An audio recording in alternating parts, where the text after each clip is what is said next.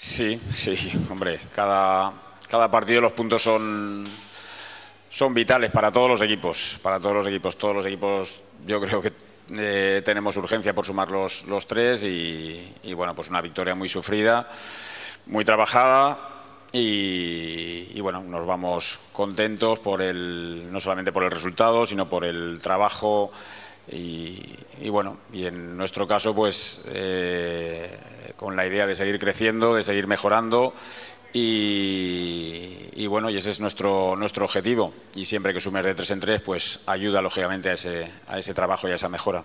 Siempre que se suma una victoria, se suman tres puntos, es más fácil corregir lo que le falte al Cádiz porque se le ve todavía mucho margen de mejora a este equipo. Sí, sí, sí, estamos, eh, estamos en ese periodo.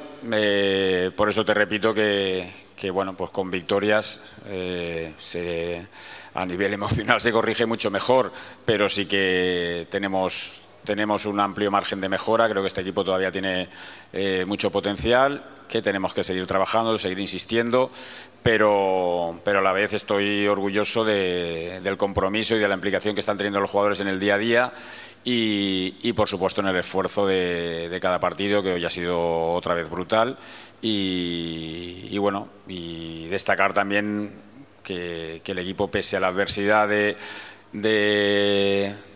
de haber seguido, bueno, pues eh, de haber no empezado muy bien la segunda parte y, y empatarnos el, el, Cartagena, pues ha seguido creyendo y le ha dado la vuelta. Eso tiene mucho mérito porque no es, no es nada fácil, porque a nivel psicológico, cuando te empatan y más en, en ese momento, que era un momento donde el Cartagena estaba apretando, pues responder como hemos respondido dice mucho de este equipo también.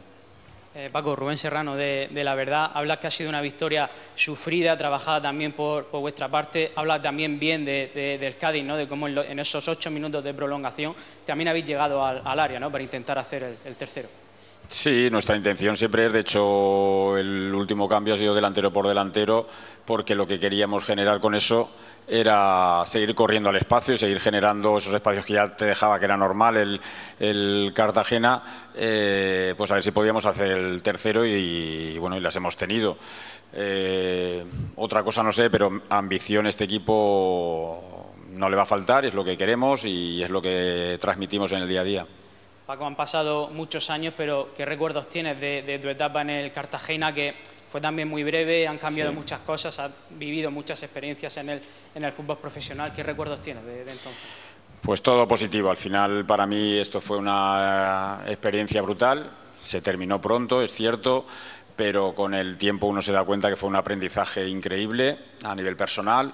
Y, y, aparte, aunque estuviera dos meses y medio, porque desde que empezó la pretemporada pues fueron aproximadamente eso, dos meses y medio, no llegó a, a tres meses, hizo, hice muchos amigos y entre ellos pues Perico Arango, que he tenido la suerte y la fortuna de volver a saludarlo, ha venido a verme al, al hotel y eso es lo que, lo que más importa en este mundo del fútbol.